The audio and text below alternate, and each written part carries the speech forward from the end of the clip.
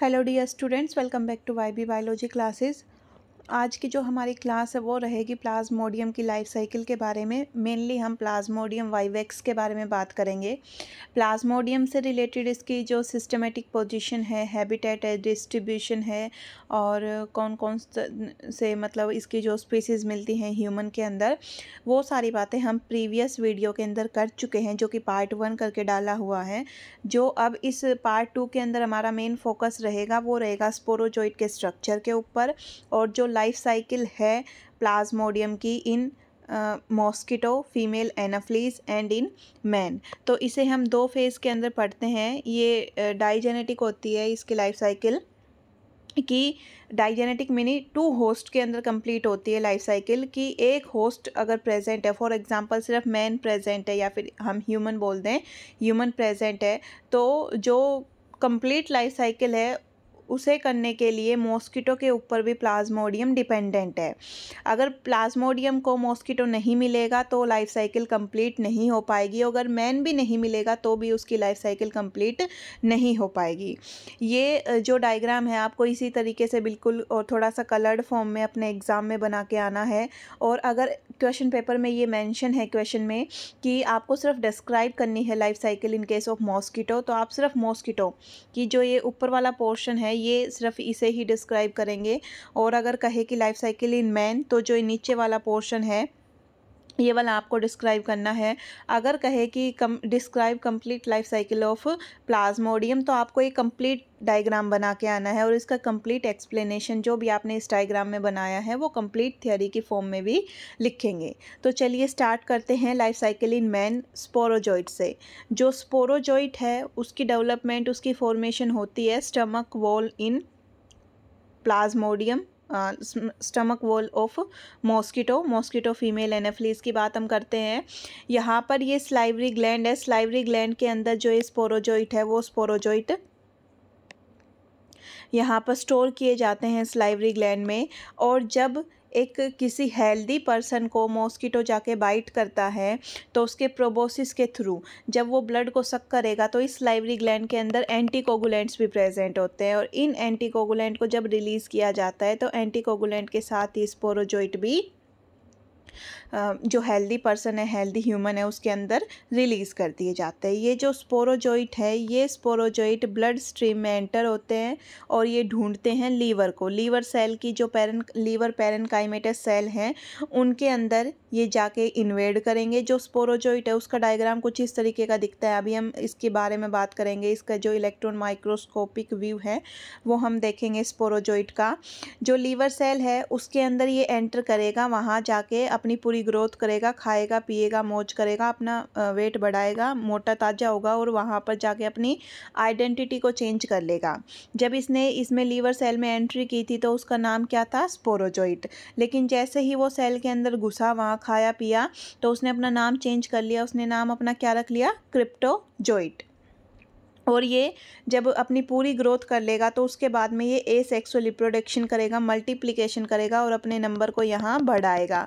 या इसने अपने नंबर बढ़ा लिए और इतने नंबर बढ़ा लिए कि लीवर सेल अब सहन नहीं कर सकती। इसके इतने ज़्यादा नंबर को और वो फट जाएगी, वो ब्रस्ट हो जाएगी और उसके ब्रस्ट होने की वजह से जो अब ये रिलीज़ होंगे, इनको हम नाम देंगे क्रिप्टोमीरोजोइट्स अभी तक ये क्या थे? क्रिप्टोजोइट और अब ये क्या है? Crypto cryptomerozoite. और क्रिप्टोमीरोजोइट में भी, जो क्रिप्टोमीरोजोइट फर्दर लीवर सेल को इन्फेक्ट करेगा और लीवर सेल के अंदर ही अपनी साइकिल को रिपीट करता रहेगा, उसको हम बोलते हैं मैक्रो मेटा क्रिप्टोजोइट और जो लीवर सेल में एक बार लाइफ साइकिल दोबारा से कंप्लीट करने के बाद आरबीसी में एंटर होगा, उसे हम नाम नाम देंगे माइक्रो मेटा क्रिप्टोजोइट तो दो तरीके के यहाँ से क्रिप्टोमेरोजोइट रिलीज़ होते हैं macrometa cryptozoite and micrometa cryptozoite जब ये एंटर होगा तो इसका नाम है माइक्रोमेटा क्रिप्टोजोइट फर्दर, ये जो माइक्रोमेटा क्रिप्टोजोइट है, ये अपने नंबर को बढ़ाएगा। नंबर बढ़ाने के बाद वही लीवर सेल को ये ब्रस्ट करेगा। और अब इसका नाम क्या हो गया? माइक्रोमेटा क्रिप्टोमीरोजोइट अभी तक ये क्या था? माइक्रोमेटा क्रिप्टोजोइट देखो, जो इसके नाम है, हम वो नाम एक बार फिर से देखते हैं कि जब ये लीवर सेल में एंटर किया था तो ये था स्पोरोजोइट हमारी बॉडी में एंटर किया तो स्पोरोजोइट की फॉर्म में किया। देन क्रिप्टोजोइट में कन्वर्ट हुआ देन क्रिप्टोमीरोजोइट में कन्वर्ट हुआ, उसके बाद कौन आया? Micrometa cryptozoite and then micrometa cryptomerozoite. ये नाम आपको ध्यान से याद रखने हैं और अब ये बाहर रिलीज़ किए गए हैं। अब ये जाके इन्फेक्ट करेंगे आरबीसी को। ये आरबीसी को अब ये जाके इन्फेक्ट करेंगे। ये सीधा यहाँ से भी इन्फेक्शन हो सकता है आरबीसी का और एक साइकिल फिर से रिपीट करने के बाद भी ये इन्फेक्शन हो सकता है आरबीसी का। तो जो ये पहली साइकिल थी, इसको नाम दिया जाता है प्री इरेथ्रोसिटिक साइजोगोनी और जो दूसरी साइकिल थी, उसको नाम दिया जाता है एक्जो इरेथ्रोसिटिक साइजोगोनी जो इरेथ्रोसाइट वर्ड है, वो आरबीसी के लिए यूज़ हम करते हैं। तो ये जो हम बता रहे हैं हम बता रहे हैं schizogony in liver of man कि ह्यूमन के जो लीवर है, उसके अंदर हमने हमने अभी तक ये सारी चीज़ें पढ़ी है, ये नाम हमने लीवर सेल के अंदर पढ़े हैं। जैसे ही ये आरबीसी को इन्फेक्ट करेगा, आरबीसी को इन्फेक्ट करने के बाद में ये क्या करेगा? एक रिंग लाइक फॉर्म बनाएगा कि सारे साइटोप्लाज्म को पेरीफेरी पे कर देगा और अंदर से बीच में से खाली हो जाएगा। इस स्टेज को हम बोलते हैं सिग्नेंट रिंग स्टेज और जो ये फॉर्म बनी है, इसको नाम दिया जाता है यंग ट्रोफोजोइट जो ये सिग्नेट रिंग स्टेज है, ये फर्दर कन्वर्ट होती है अमीबोइड स्टेज के अंदर और यहाँ पर ये हर चीज़ को डाइजेस्ट कर देगा, जो हीमोग्लोबिन है, आरबीसी का सिर्फ़ वो डाइजेस्ट नहीं होगा और वो हीमोजोइन ग्रेन्यूल की फॉर्म में यहाँ पर स्टोर किया जाएगा। इसकी जो शेप है, वो अमीबा के जैसे दिखती है और अमीबोइड शेप होने की वजह से स्टेज का क्या नाम रखा हमने? अमीबोइड स्टेज नाम रखा। फिर फर्दर यहाँ पर ये न्यूक्लियर डिवीज़न चलेंगे साइजोंट के अंदर। इसका नाम अब हम साइजोंट रख देंगे। इसके अंदर न्यूक्लियर डिवीज़न चलेंगे फ्री न्यूक्लियर डिवीज़न चलेंगे और यहाँ पर कुछ ये स्किफनर स्टोट प्रेजेंट होते हैं। न्यूक्लियर डिवीज़न होने के बाद में साइटो साइटोकाइनेसिस होगी और अब इन्हें नाम दिया जाएगा मीरोजोइट या फिर साइजोजोइट्स। मीरोजोइट इसका नाम आप याद रखें, मीरोजोइट इन्हें कहा जाएगा और यहाँ पर ये हीमेटोजोइन ग्रेन्यूल्स प्रेजेंट है। ये जो ये साइकिल चली है, इसको हम बोलते हैं साइजोगोनिन, आरबीसी या फिर इरेथ्रोसाइटिक साइकिल नाम दिया जाता है। यहाँ पर ये मीरोजोइट का नंबर इतना बढ़ जाएगा कि ये ब्रस्ट होगा, आरबीसी ब्रस्ट होगी और यहाँ से ये रिलीज़ कर दिए जाएँगे मीरोजोइट मीरोजोइट री इन्फेक्शन कोज करता है आरबीसी का। दूसरी आरबीसी को जाकर इन्वर्ट करेगा, वहाँ पर ये फर्दर इन्फेक्शन कोज करेगा और जो यहाँ पर जो ये मीरोजोइट्स हैं ये मीरोजोइट जाके दूसरी आरबीसी को जो इन्फेक्ट करेंगे ये, ये एक तो ये री इन्फेक्शन कोज कर सकते हैं और दूसरे ये खुद को मैक्रोगेमिटोसाइट एंड माइक्रोगेमिटोसाइट में कन्वर्ट करेंगे। मैक्रोगेमिटोसाइट फीमेल और माइक्रोगेमिटोसाइट कौन होता है? मेल गैमिट होता है। फर्दर ये यहाँ पर एंटर किया है यहाँ पर इसने ये सेल की पूरी अपनी शेप ले ली ग्रोथ कर ली और जब ये हमारे ब्लड के अंदर प्रेजेंट है जब मॉस्किटो बाइट करने आएगा और वो ब्लड को सक करेगा तो ब्लड के थ्रू ही वो क्या कर लेगा? इन गैमिटोसाइट को अपनी बॉडी में एंटर करवाएगा। ये गैमिटोसाइट जाके इसके गैमिट इसके स्टमक के अंदर रिलीज़ किए जाते हैं। यहाँ की कहानी हम पढ़ेंगे, लेकिन यहाँ पर दो होस्ट की ज़रूरत क्यों पड़ी? ये समझने वाली बात है। देखो, जो स्पोरोजोइट है, वो कहाँ है? स्लाइवरी ग्लैंड ऑफ़ मैन के अंदर प्रेजेंट है। लेकिन स्लाइवरी ग्लैंड में सॉरी ह्यूमन मॉस्किटो के अंदर प्रेजेंट है। मॉस्किटो के अंदर जो स्पोरोजोइट है, इसकी फर्दर डेवलपमेंट नहीं हो सकती। क्योंकि मॉस्किटो कैसा है? ये है कोल्ड ब्लडेड। और हम कैसे हैं? हम हैं वॉर्म ब्लडेड। तो इस स्पोरोजोइट को डेवलप होने के लिए हाई टेम्परेचर की ज़रूरत पड़ती है। इसीलिए उसे अपनी लाइफ साइकिल को कंप्लीट करने के लिए एक ऐसे ऑर्गेनिज्म की ज़रूरत है जिस जो वार्म ब्लडेड हो, जिसका टेम बॉडी टेम्परेचर हाई हो। और मॉस्किटो का बॉडी टेम्परेचर हाई है, नहीं, वो कोल्ड ब्लडेड है, इसलिए ह्यूमन के अंदर इसे एंटर करना पड़ता है अपनी इस लाइफ साइकिल को कंप्लीट करने के लिए। फिर जो ये रेथ्रोसेटिक साइकिल चलती है इसमें जो ये हमने हीमोजोइन ग्रेन्यूल्स की बात की ये जो हीमोजोइन ग्रेन्यूल्स हैं ये हीमोजोइन ग्रेन्यूल जब रिली, रिलीज़ होंगे उस टाइम पे फीवर आएगा। तो जब फीवर आएगा तो मलेरिया में जब भी फीवर आता है इसका मतलब कोई आरबीसी ब्रस्ट हुई है और उससे हीमोजोइन ग्रेन्यूल्स रिलीज़ हुए हैं।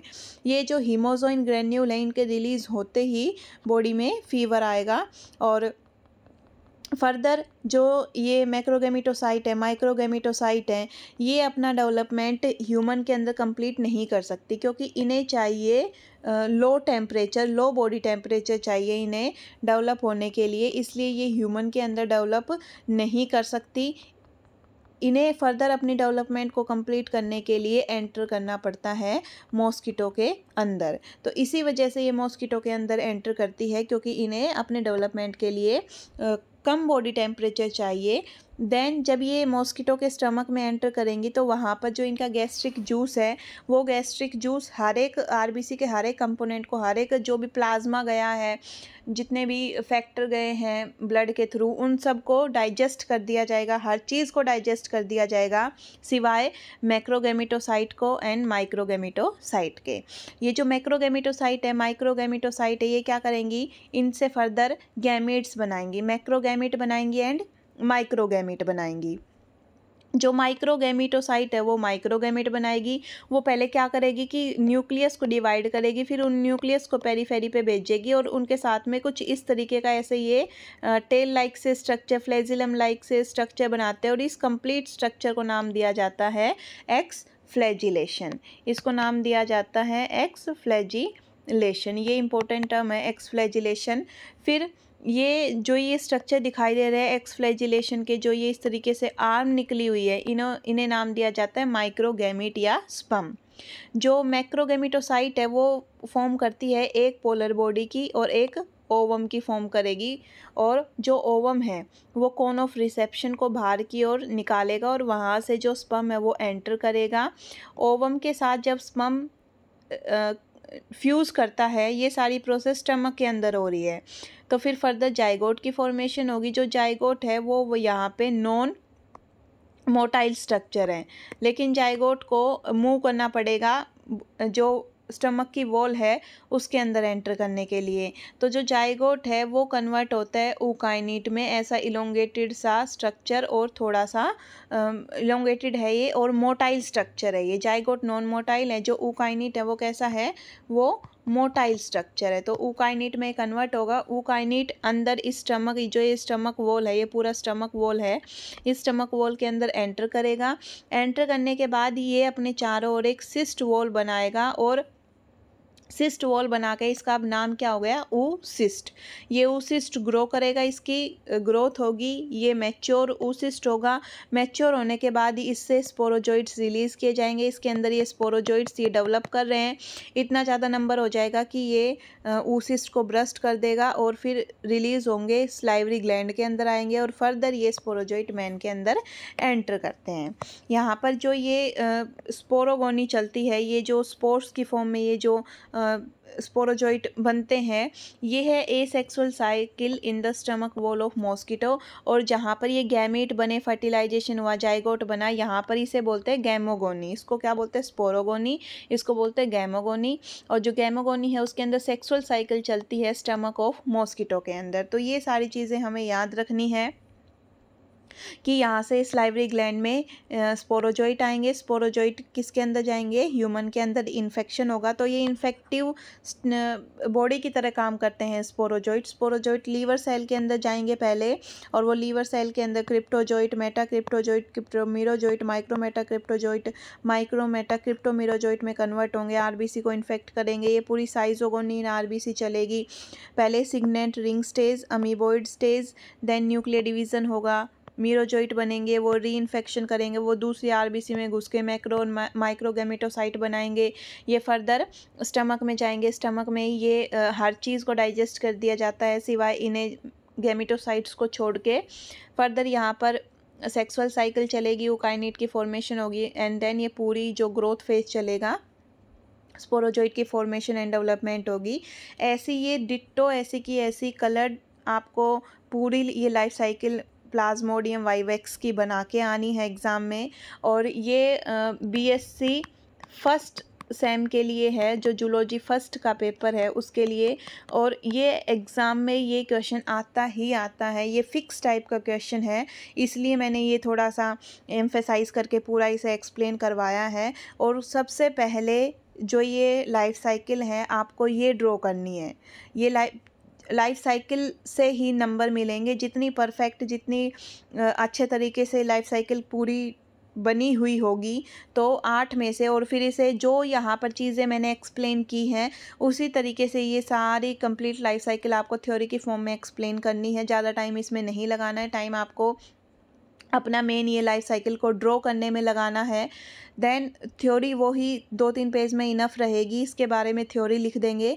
मेन लाइफ साइकिल है, मैं बार बार कह रही हूँ कि जो मेन है वो इसकी लाइफ साइकिल है। लाइफ साइकिल को आप अच्छे से बनाएँ, ढंग से बनाएँ और जितनी परफेक्ट लाइफ साइकिल होगी, उतने परफेक्ट ही आपको नंबर मिलेंगे। अब हम बात करते हैं स्पोरोजॉइट के बारे में तो आई होप आपको ये जो लाइफ साइकिल है, ये अच्छे से समझ में आई होगी और आप इसे अच्छे से ड्रॉ कर ले लाइफ साइकिल को बिल्कुल परफेक्ट वे में।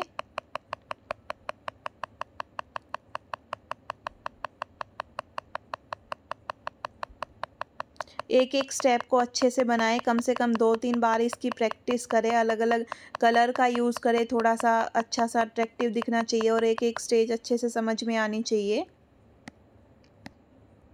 यह है स्पोरोजोइट का स्ट्रक्चर तो इस स्पोरोजोइट के स्ट्रक्चर के अंदर कौन कौन सी चीज़ें हमें दिखाई दे रही हैं। ये एपिकल कैप है, यहाँ पर ये ऊपर वाला जो रीज़न है वो एपिकल कैप है और जो इस तरीके से ब्राउन से ये स्ट्रक्चर दिख रही है माइक्रोट्यूब्यूल ऑफ़ पेलिकल, ये पेयर्ड ऑर्गेनलीज हैं। न्यूक्लियस है और ऊपर ये बाहर आउटर कवरिंग है, वो पेलिकल की है, ये कॉन्वोलेटेड ट्यूब्यूल प्रेजेंट है माइटोकॉन्ड्रिया है और साइटोप्लाज्म है। ये है स्ट्रक्चर स्पोरोजोइट का तो आपको साथ में ये स्पोरोजोइट का स्ट्रक्चर भी ड्रॉ करना है। ये है complete life cycle of plasmodium thank you for watching my videos